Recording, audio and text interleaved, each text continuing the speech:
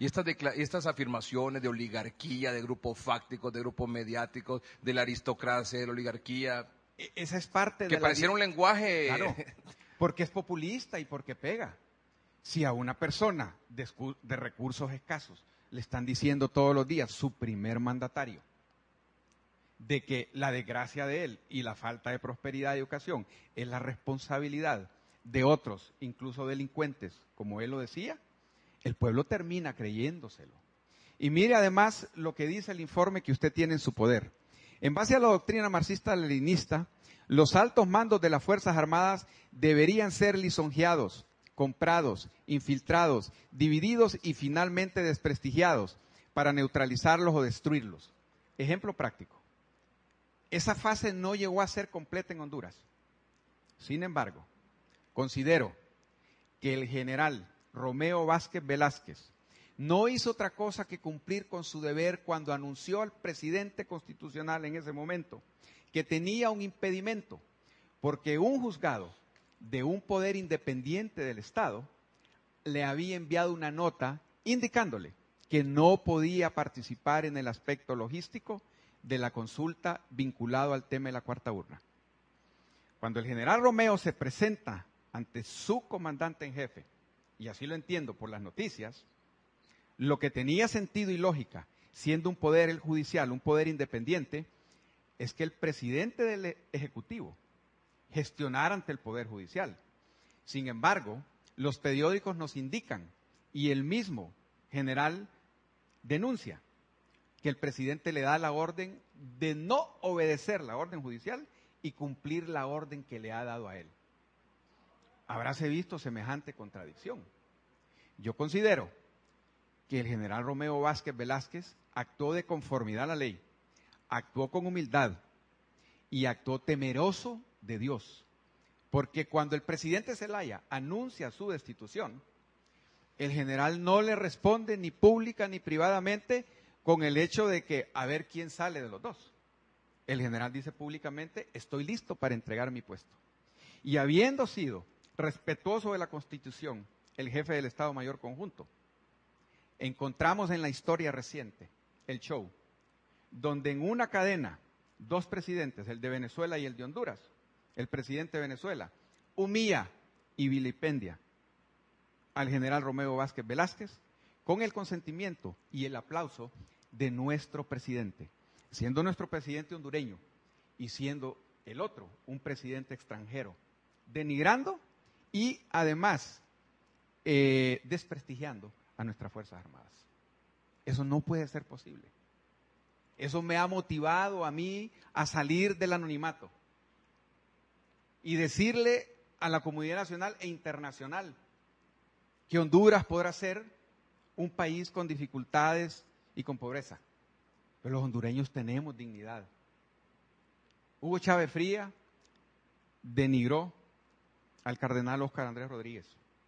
Cuando vino aquí a su visita a Honduras, denigró a la prensa y a los periodistas, al sector productivo y empresarial. Y todas estas cosas en aquella reunión del ALBA.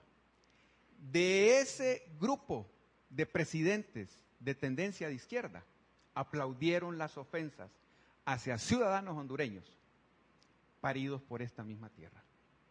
Creo que eso no es correcto. Creo que eso no es justo. Y creo que eso motiva a la hondureñidad a reclamar dignidad.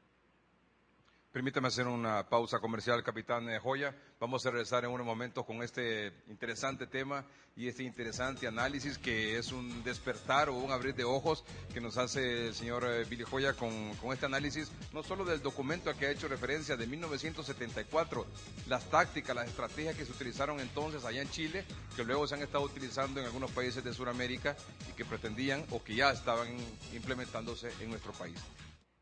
Este, este documento si lo podemos mostrar, este documento denominado Comisión Especial de Consulta sobre Seguridad, el proceso marxista-leninista en Chile, 1974. Vean ustedes qué interesante. Y es un documento, vean ustedes el logo de la OEA.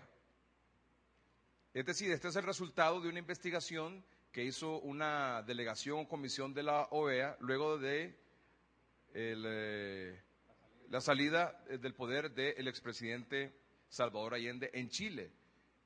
Eh, llegó la comisión de la OEA y este, este documento recoge todas las entrevistas que esta delegación hizo con los eh, diferentes sectores e instituciones eh, allá en Chile. Y que eh, hoy, pues como usted lo ha estado viendo, es una radiografía de lo que ha pasado aquí en Honduras.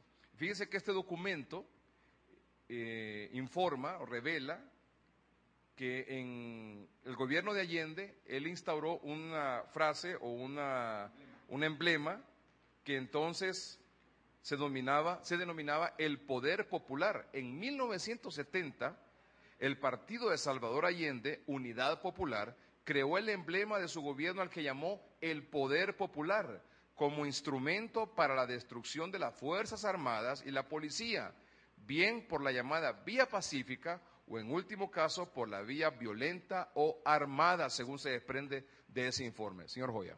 Bueno, bastará entonces hacernos una pregunta. Si habrá dentro de los términos de ese informe alguna similitud entre la estrategia del poder popular de Salvador Allende, bastará entonces preguntarnos si habrá alguna similitud entre la estrategia del poder popular de Salvador Allende y la estrategia del poder ciudadano de Manuel Zelaya Rosales en Honduras, cuando se vilipendió y desprestigió a nuestras Fuerzas Armadas por el simple hecho de no acatar una orden judicial. Dentro de esa estrategia que establece el mismo informe de la OEA, se define, en base al pensamiento de Lenin, inscrito en las obras completas en su tomo 32, esto decía, en condiciones de inexistencia de guerra civil, como estamos en Honduras, con una situación internacional favorable, como estaba el expresidente Zelaya en Honduras, deberá procederse con más suavidad, con más cuidado, con más condescendencia, para hacer posible y necesario una transición más lenta, más cautelosa, más sistemática hacia el social comunismo, a través de la existencia o de la estrategia de la coexistencia pacífica marxista-leninista. Obviamente, Vimos al expresidente Zelaya en los últimos momentos desesperado, porque el tiempo se le estaba acortando.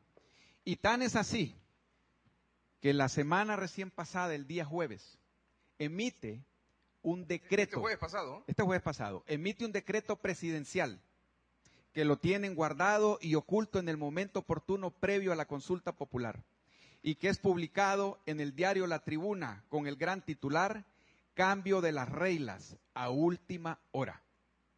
Lo que en principio se suponía ser una encuesta no vinculante para preguntarle al pueblo si estaba de acuerdo con una urna el día de las elecciones, lo convierte y lo amplía dentro de la pregunta para entrar en el contexto de una Asamblea Nacional Constituyente.